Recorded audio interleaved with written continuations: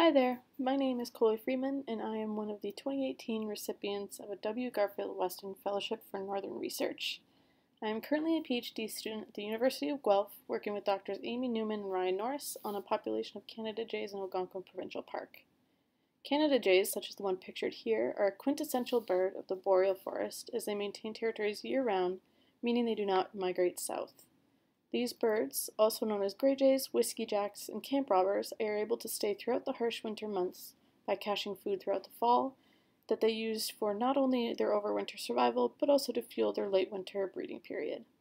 This means that Canada jays feed nestlings a combination of cached food from the previous fall and fresh food as it becomes available during the spring. Previous research on this population suggests that Canada jays are food limited during the late winter breeding season However, it is unknown what effect this food limitation has on the young jays.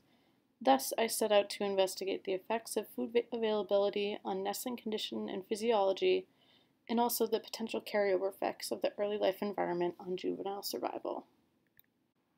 To do this, I set out into the park to monitor the nests of all the breeding pairs within the study site. Each nest was assigned to be either a control nest or a supplemented nest, where the supplemented nest received feeders, such as the one shown here, just before the eggs hatched.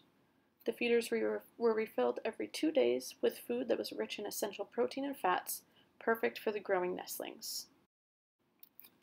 To look at the effect of this supplementation on the nestlings, we would then visit the nest when the nestlings were roughly 14 days old, which usually meant carrying around a large ladder through the forest, which is quite challenging.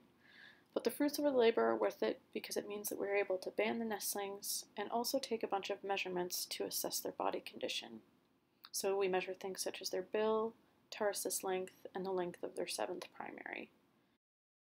And what we found was that supplementation had no effect on either nestling mass or body size at banding, but did have an effect on body condition and feather corticosterone levels, where corticosterone is a hormone that is involved in a bird's response to a stressor.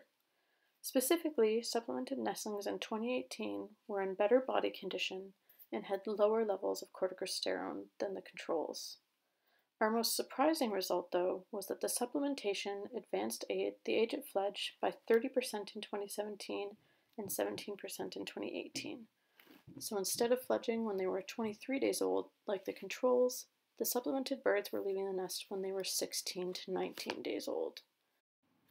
This dramatic acceleration of fledging may have downstream effects on the survival of the fledglings and the recruitment of the individual into the population. Thus, we monitor the survival of the young jays using radio transmitters. These mini backpacks emit a beep at a unique frequency which, allow, which allows us to track down each individual as they leave the nest. Following fledge, we would check in on each bird every three days to check if they were still alive by tracking them down on their territory. Eventually, tracking down the birds by foot became impossible because as the birds got older, they were able to move further distances. So we resorted to following their movements by tracking them from the sky. We did this every month until the fall when we confirmed their survival. A complete analysis of the effect of supplementation on survival is still to come, but until then, I would like to sincerely thank the W. Garfield Weston Foundation for their support and I'll leave you with this clip of an adult jay feeding the nestling I was holding.